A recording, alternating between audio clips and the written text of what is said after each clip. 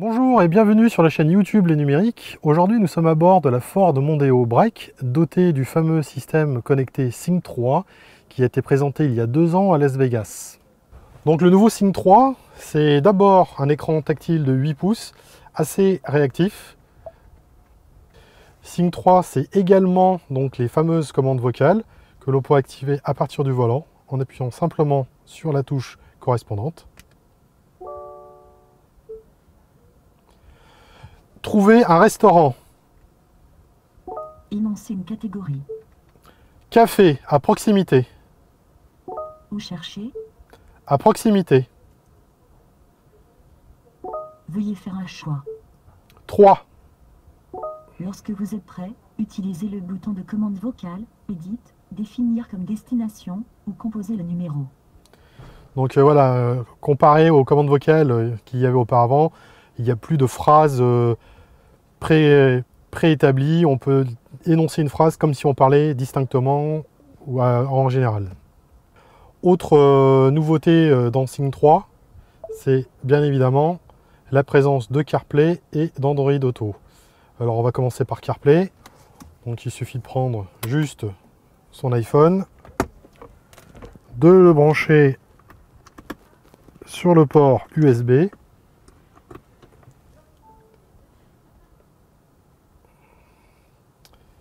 Et on se retrouve à l'éc- l'écran d'accueil donc du, de CarPlay avec euh, bien évidemment euh, très peu euh, d'applications. Elles ont le point commun d'être toutes activables par la voix. Donc il y a le téléphone, il y a la musique, il y a le système de navigation plan. Voilà.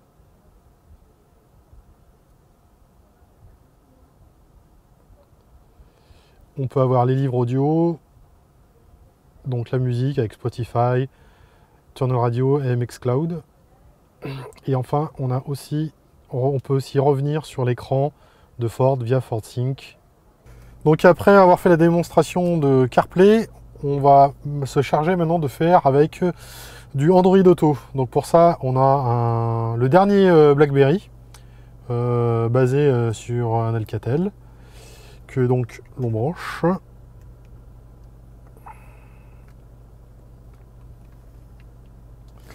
Et voilà, hop, nous voici sur Android Auto avec une interface euh, bleutée, le petit micro pour l'assistant vocal, donc ici les touches euh, principales, donc la navigation, le répertoire téléphonique avec messagerie vocale composée un numéro. Ici, c'est pour la musique, le Google Play Music.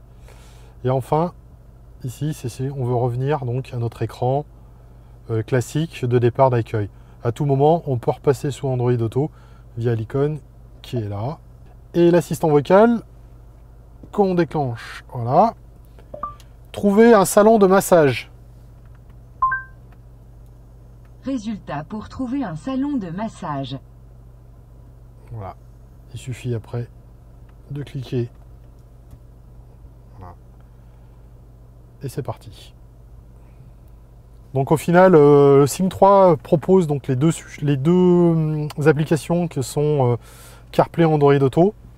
On aura une préférence bien évidemment pour Car- CarPlay qui est euh, plug and play. Android Auto est assez euh, fastidieux euh, à installer. Il faut déjà dé- télécharger l'application, puis valider un certain nombre d'écrans avant de pouvoir accéder à Android Auto via l'interface de la voiture. Et euh, ce matin, on avons fait euh, l'expérience avec le OnePlus, tout marchait correctement. Cet après-midi, on refait l'expérience et rien ne marchait. On a été obligé de passer avec le BlackBerry pour que cela fonctionne correctement. Donc euh, en espérant que ça s'améliore dans les prochains temps et que les personnes adhérents à Sync 3 euh, n'aient pas de problème.